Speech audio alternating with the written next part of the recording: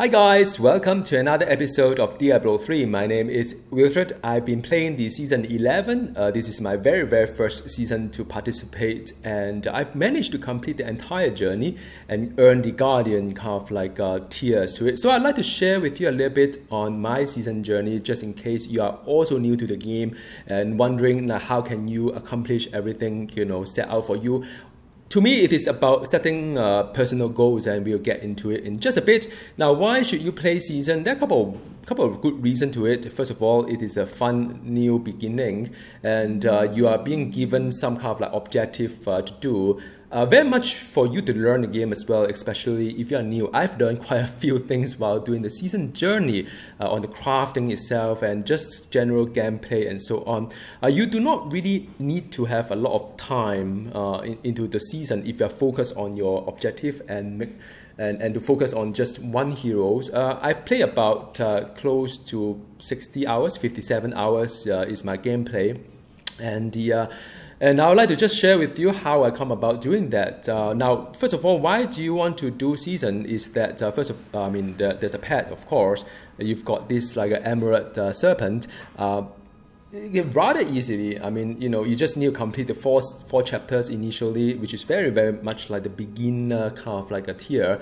You get this one here. Uh, there are quite a number of portraits as well. Let me walk you through uh, how you're going to progress through the portrait. So once you completed your four uh, kind of um, you know uh, the, the the chapters, you will get a basic portrait called the Treasure Goblin. So it looks something like that one. But as you get better, um, you know, once you get an, not another tier, which is a Slayer, then you get a little bit different. Uh, you can see that you get a little bit of gold or bronze kind of color to it. Then the next tier is Champion. Uh, that also is like a little bit more bronze to it. Actually, I quite like the Champion uh, kind of look as well. And when you go up to destroyer, interestingly, it becomes silver and it kind of like, you know, this one looks like a little bit goldish kind of thing. So I didn't quite like the uh, destroyer, but yeah, I mean, you know, it is the next tier. Now, the tier that really matter is the, um, is a conqueror because you get a free stash. I'll talk a little bit about that in just a bit. Uh, but this one, compared to this one, you get a whole nice gold kind of like a aura to it. Um, you know, the interior with the leaves as well. And ultimately, if you are at the uh, guardian guardian kind of level, then you've got like a, a, little bit different here. You see the the nice little orange kind of things around it, uh, rather than you know the just the yellow one. So this is the one that I'm using right now. So uh, you've got a pet, you've got all the portrait, and you've got also a free stash. Now, what I play for actually, believe it or not, I play for the portrait. Uh, it seems to me there's not some nice progression, something cosmetic to collect. Uh, the pet is alright. I mean, I've got quite a few other pets as well because I just started playing and I've been collecting it through the goblins. Uh, but uh, I mean, the free stash is nice. Um, but you know, in this game, in this sort of game, stash is never enough. Even you have one extra one. And uh, so the whole journey, if you take a look at that, um, you you can you can take a look at all these things here the you know each tier will reward you something. Like for example if you finish the chapter four you've got the portrait you've got the you got the um, you know the whole set of armor as well as a pet and stuff like that.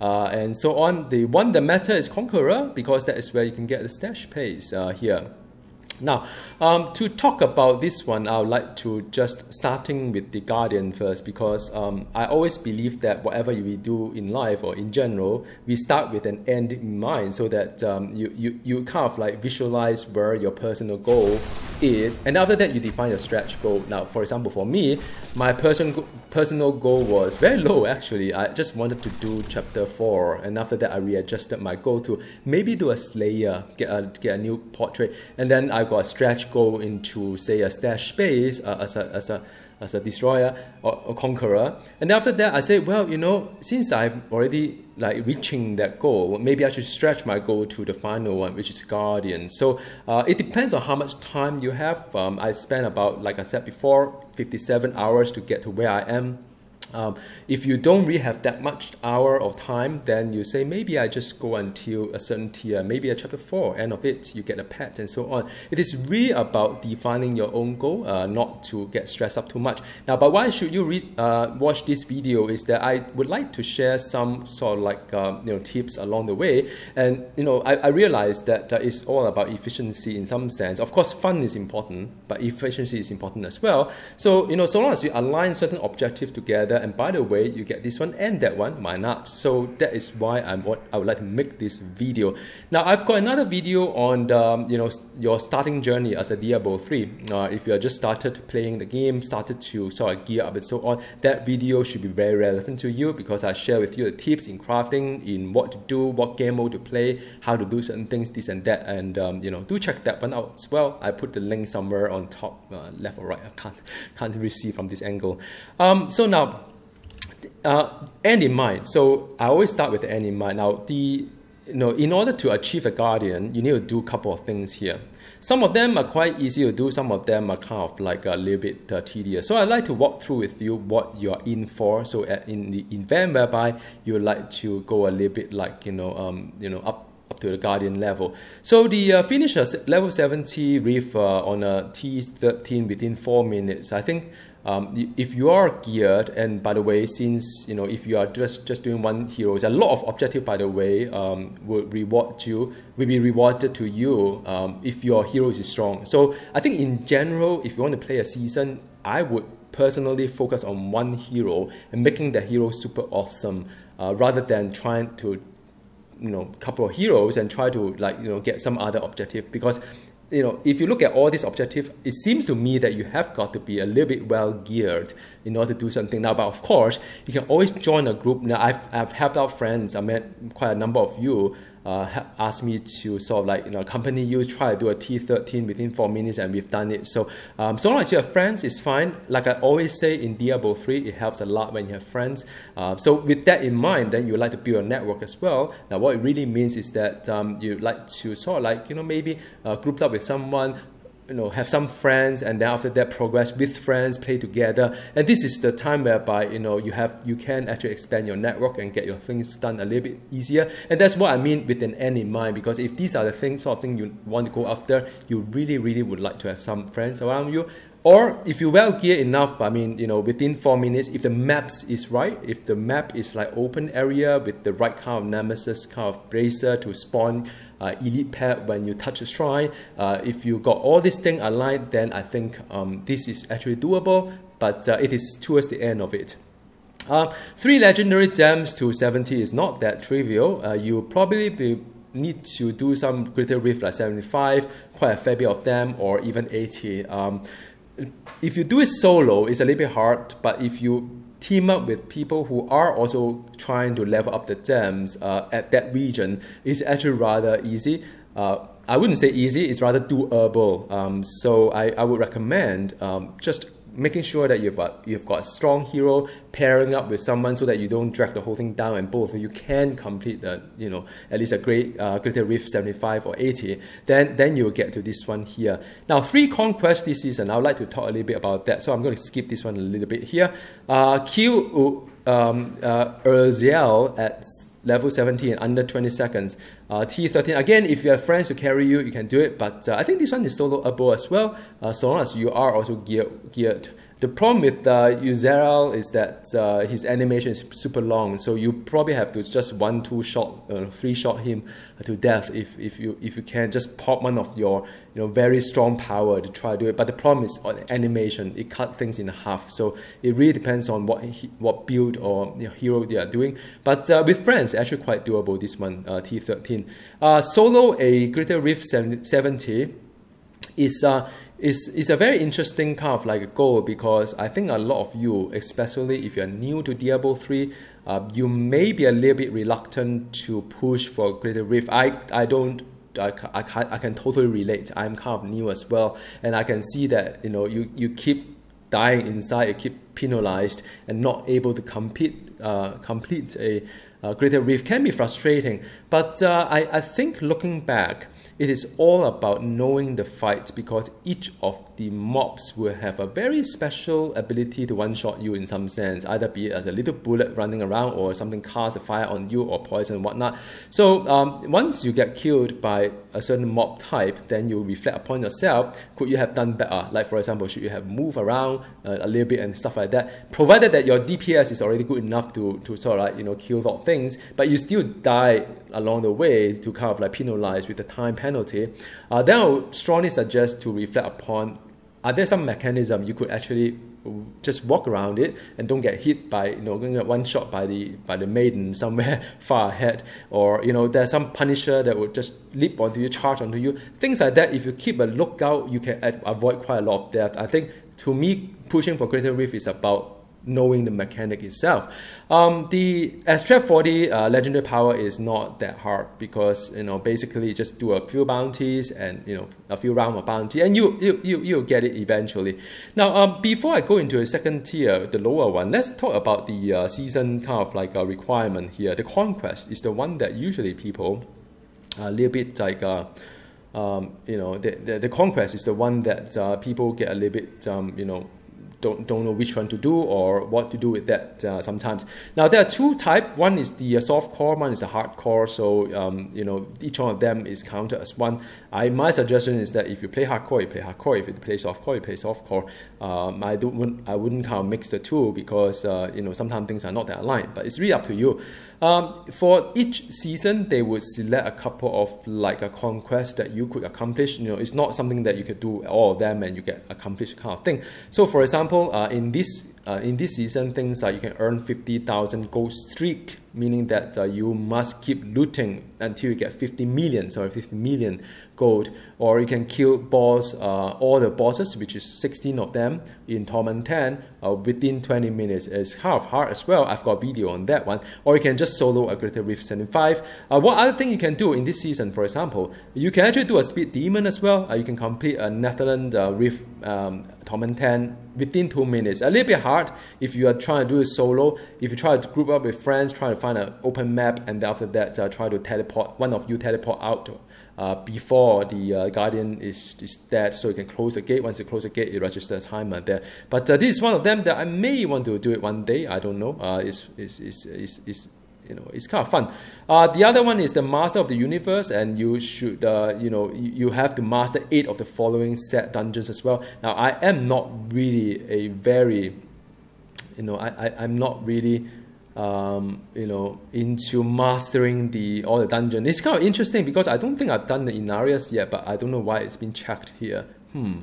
So, um, so there are a couple of things you can do now. If you try to do the set dungeon wise, I mean, as you can see, each each class only have a number of sets. So, in order to do eight of them, you probably need to do more than one heroes. And like I said before, it's all about aligning your objective. If you like to push for higher rift and you know higher higher everything here and there, then it is um, it is um, you know to, to me to me you, you divided your attention and you may not be able to accomplish some of these objectives within the time that you have. So it is really up to you. Um, my, my take is that uh, I've, I've done the 75 solo first because I have a very clear objective. I would like to push my character to be one of, you know, a, a good one. Um, so getting 70 is a prerequisite for the primal ancient, so that's what I would like to do. Uh, 75 is just a few steps more. I think I stretch it quite hard. Um, you know, I, I, I, you know, I didn't do it without gears um, or skill back then. So I, I, it took me a couple of attempts, but I, once I reach it, I reach it. I mean, it's one of these things, you know, you get it, you get it. Uh, so that was the first one I've done. Uh, boss mode is the one that I believe you probably have to have friends uh, to complete because, you know, one of my video before show you how we did boss mode with three runners and just another person in, in, in, in town, my wife, just like, you know, monitoring everything. But, uh, you know, you basically have to split up and use the, uh, you know, the, the, the, the town portal as a as a means to save your progress as you run, and after that go back to town and then go into a boss, kill the boss, teleport to town via the map mode, and then after that uh, go back to your portal and continue your running progress. So that is quite easily done. I actually find this one rather hard. Um, I wouldn't say hard, but it's kind of tedious. Now, to do this one, you have a couple of options. Either A, um, you you do 10 sets of at 10 or 11. I think at 11 pro sorry the uh, torment 11 is probably a safer bet because torment 11 give you 1 million and 90,000 gold per cache that you open so if you open 50 of them, you naturally complete a 50,000 kind of like 50 million kind of gold streak. Now, the uh, it's a lot of grinding. You probably need to dedicate a stash space just to hold that 50. Now, your inventory will not be able to hold all 50 caches. So how do you earn this one?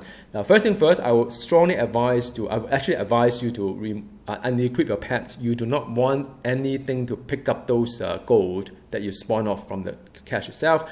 Second of all is that uh, turn off anything that give you a gold radius. Maybe you are doing using a ring or whatever it is uh, that give you the gold radius and whatnot. Just turn all these things off. Uh, if you have some gear that uh, increase the gold picked up by one yard, two yard, three yard, four yard, whatever it is, take that off as well. Basically, you do not wish to collect the gold until you have managed to open 50 caches. So how to do that? Uh, you have all the caches in your inventory, open them all up. After that, uh, you stand beside the cache, so stash, so that you do not need to move around. Then you transfer the rest of the, uh, the, the caches onto your inventory, open them up. And once all 50 of them are opened up, you just move and everything will be collected. All the gold, you hit the 50 million gold streak uh, at one shot.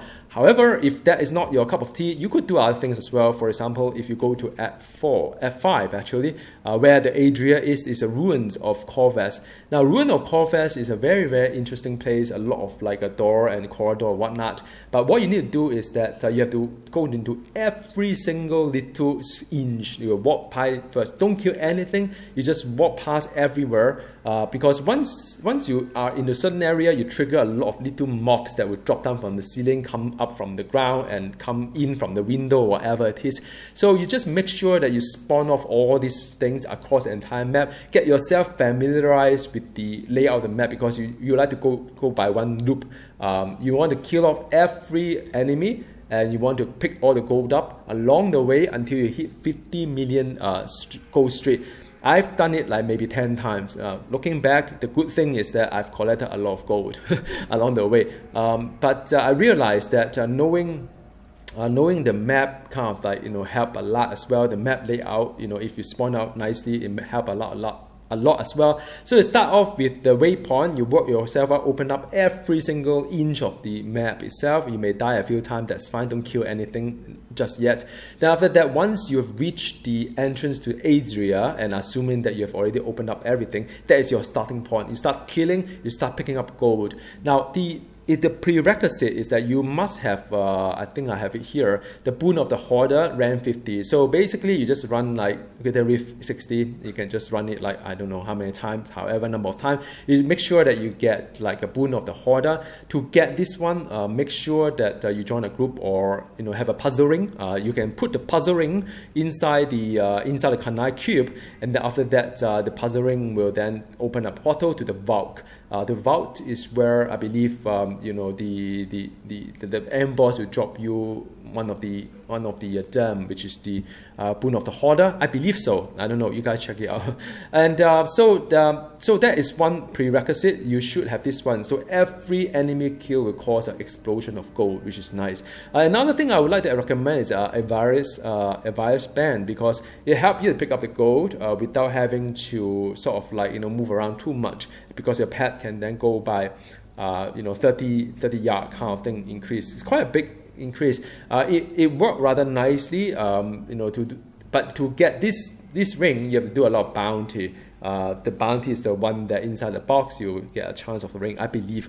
Uh, as for the for, for this item wise, I mean, you know, I'm using Nemesis because that's how I farm the Rift itself. But um, I think eventually I did a Goldskin, if I'm not wrong. I did a gold, uh, I think Goldskin. So uh, Chant um, I think one of them, no, hang on, this one is uh, I, I've got the Gladiator Wallet. So after earning a Massacre bonus gold rings from this guy, now um, it is not really that essential, I would say, but because when you are doing that, that you may encounter some break uh, between the pack of mob and uh, I don't mind having gold rain from the sky when that happens. I don't know how much gold it is, but it seems to me that when I pick this one, I, it works for me. Before that, I didn't have that one. So, uh, but you have to just play around. I do a Torment 10. Now, Torment 11 a little bit uh, slower. So when you kill slower, you do not pick up gold fast enough, then you may not uh, know, have enough. I think T9 and below is just not enough gold. So I think T10 is the right spot. I think in everything in this game, T10 is the right spot. Um, so I hope you got some idea onto what are the things that you could look out for. Uh, if you want to do the need for speed, you need a group group of friends and really really do it. Uh, or you you want to um, you know the set dungeon. If you haven't done it in your standard kind of thing, I have not. Then you may want to do it. But I'm not a fan of the set dungeon. So now uh, with that said, uh, that is basically the you know that the one one big part of the the, the video is to talk about what your end goal is. However, you say that if you say that well, stash is what I need, so what do I need to do? Um, you have to complete a Nephalem Rift in uh, Torment 13 within 5 minutes instead of 4 minutes because I think the Guardian is 4 minutes and 5 minutes. Sometimes, you know, when you group up, group, group up with friends, you get both at the same times. You know, you don't have to and you don't have to redo everything again. They will retrospectively remember what you have achieved, even when you are doing a Conqueror tier. If you have done it within four minutes, it registered. That was in my case. Uh, three legendary gems to 55 is rather okay because you just need to do Rift to um, to 60, 65. I think 65 is, is a nice spot. Group up, it shouldn't be an issue. Uh, Conquest is not an issue. I think I don't think this Siegebreaker Assault Beast is an issue as well. Quite a long name for boss anyway. Uh, money in a Than uh, I don't think it's also an issue. It's just that as you as you play, uh, you you go into go into the vault, and the vault is where they would drop the uh, boon of the hoarder, which is a legendary gem that will help you complete the uh, one of the conquest uh, if that's what um, you are looking for. Take you there, uh, reach Greater Rift 60 solo. Um, you know, this is one of those things that uh, probably need a little bit of gearing up and uh, getting used to. Uh, it could be quite hard for a new player to start with. You know, people say that Greater Rift 60 to 70 is easy. Now, I have seen group, uh, I've, I've, I've done 75 myself, I've seen group at uh, 85.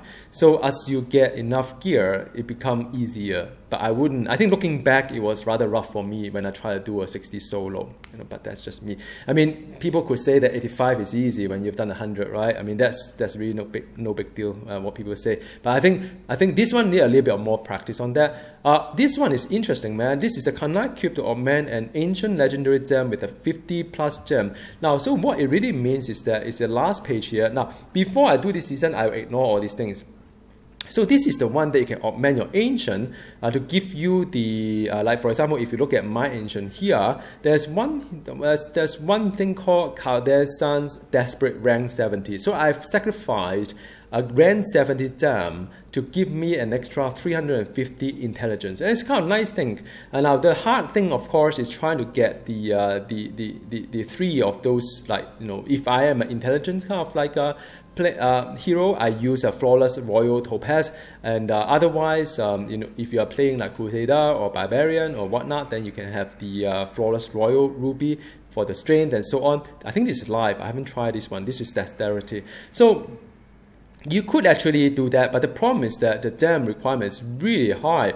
Uh, if you have already committed putting all your gems into the uh, into your you know chest or whatever it is, uh, then it's five gem gone. So how do you get all three of them? Now there's another recipe that will convert nine uh, them into into um, into into one of the um, gem color that you want. So you can switch color. Now the I've done something and I've made a mistake, so I'd like you all not to make the same mistake as I do. So now um, to to convert a gem color into into that you know the yellow one that you want, you can talk to uh, to this little girl here, uh, there is actually things like essence of topaz. Of course, what it really means is that you can convert the uh, the gem that you have, any any gem, into into a topaz, which is my color. Now, um, this one here, very tricky. You can you do, cannot apply common sense when you when you do this one. You have to be very specific. It must be nine gems of the same color.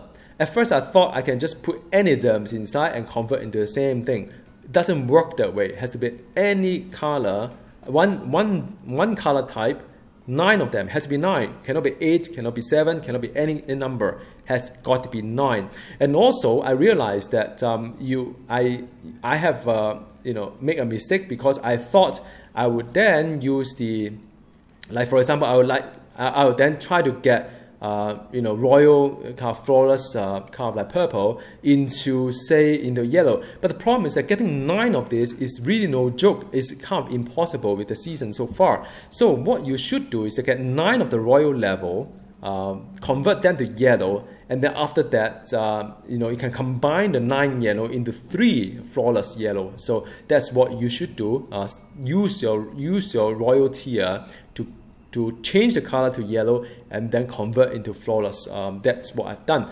because uh, the augment, augmentation is, uh, is the one that is here. The augmentation, which is this one here, it takes on three of the flawless uh, royal kind of thing. So it gives you the you know intelligence. So you can actually see what it does though. By the way, so you know it kind of nice. You just move the mouse over all these things. All right. So I didn't know until this video. uh, interesting. Um, and the uh, the higher the term, of course, the better the uh, stats. So now, how high should your term be? Uh, depends on what you can do. So I have I have a friend. So we, we run some with a Rift like 75 and managed to get a grade 70 uh, level 70 dam to, to just put it in there. But I think each one is five uh, five. Um, so each rank give you five points in your intelligence or whatnot. So you can judge for yourself, is that extra 50 worth it for you to bring it to 70 to 80? Or just say that, well, let's just start with what I have and after that I'll look after another tier, another tier kind of thing. It doesn't really matter. At the end of the day, you know, it's all down to the gem level towards uh, convert the gem level into, into your primary stat. So how easy it is for you to convert that into that, it is up to you. But of course, the cost is a very expensive gem, so you wouldn't want to just like, you know, anyhow upgrade your ancient uh, without without uh, thinking through you know maybe I've done my best and this is the best I've got. So that is one thing here. Uh, where was I actually? I've been too exciting uh, excited to talk about this one here. Um, so that is the one that you could do the dam there. Um, okay. So uh, the last one is just to reforge a legendary. Now this is actually super fun uh, I mean, I, I learned this one. I didn't know that you could do such thing as well. It's to reforge, um, re, reforge a legendary. So reforging a legendary require quite a fair bit of like a bounty material. But the good thing about it is that um, say if you have got a slot like you know one of the slot that doesn't doesn't really look that fantastic the, the, the, kind of like you know you got second item drop and you say well I don't really want that all the stats and stuff like that. So what do you do? You go back to blender uh, have another go at it. And I realized that uh, like for example what I've done is that I've got compass rose uh, that I didn't have nice nice rank to it. I dump it in first try I get like ancient. Wow. So you know this one has um, has a, a possibility for you to get ancient. And I also think about now I don't know whether it's the right approach or not but I think out of all the gear itself, I found that uh, the, the one that's hard to get ancient is uh, would be say the ring and amulet and the weapon because those who cost quite a fair bit to gamble. Uh, you can actually talk to Kadala um, over here and you gamble your stuff, right? So you can get 25 bloodshot, you can gamble any of those things, or you can say that uh, you, you give a bit more, like, you know, weapon 75 or ring is a 50 100, right? So you immediately you realize that actually amulet, ring, and the, uh, and, and, and the weapons are not that hard, easy to come by, especially weapon. So I think that maybe if I didn't have uh, ancient one-hander, I would actually um, you know use this recipe to try to get my second. Uh, so I'll use one first, but the second one that I do not like the stat, I'll try to use uh, this approach to try to get an ancient on it because a weapon that's ancient, I think to me makes a lot of difference. So that's just my approach. Something to think about. I mean, know, many things to learn in this like a season kind of thing. But um, but that is really the uh, the conqueror level and the uh, so now I am not going to go through too much of the rest because I think uh, the rest is basically the you know the the the sort of like natural progression. I don't think it is that hard for you to complete the rest of it. And I'm just scanning through it. I mean, you know, the the only thing is about the the Hellfire amulets that you could actually craft it using one of these like. Um, uh, one of these, um, you know, the, the, the, recipe here, you can find it, and you can you can have all these things that you collect in one of the the other journey as well, because in one of the, the other journey, you are required to kill this and that and this and that and all these things, kind of like you know, um, uh, help help you to get some of this like material. But I think I think you know there's a lot of learning experience. But I thought to give you some idea, if you have started a journey up to uh, four, which is not difficult, and if you're, if you're looking upon further on to see what you can do on the on up to the stash level as well as beyond, I think um, that is the you know something. I hope this video is helpful to you. And as always, do feel free to drop me a note here, and I kind of like always enjoy interacting with you. And thank you very much for watching this video. I hope you enjoy your season as much as I do. Many of you ask me what I'm going to do after I've completed the season. I didn't know that dragon actually play with the little green ball here. Kind of cute. Um, I now that I've done it all, and the uh, and my what I'm going to do next, I will continue playing this season because anyhow, I mean, you know, my standard game is not that advanced anyway, and uh, I would also help my friends and my wife to try to get their season goal as well. So do count on me, uh, call me up if I can help. I'll help. I'll try to push my Necromancer to as uh, as far as possible because I really enjoy playing Necromancer. I spend like many many hours playing uh, Necromancer already. I think you know I play a lot of ARPG. Necromancer to me is probably one of the best um, kind of class design that I have. I know people don't like that it costs fifteen dollars. Some of you may have boycotted the whole thing, but uh, to me, I think the uh, I, I've enjoyed a lot out from the fifteen dollars. I mean, you know, I've I've played the Inarius melee build, which is very much like the beginner kind of thing because you could actually get away with quite a lot of like not knowing or not avoiding certain danger because you have the tank in front mitigating a lot of damage. I've also tried this like uh, you know pet build which is kind of glass cannon in some sense but uh, it's rather safe you have pets around you know doing things in front for you. I will try the Trag'Oul set which is very high risk high return. You have to sort of like you know hunting for for elite uh, where by the map knowledge kind of matters and uh, who knows I may play the pestilent kind of build. No, I don't know. I don't think so. Anyhow, uh, I'll see you next time. Goodbye.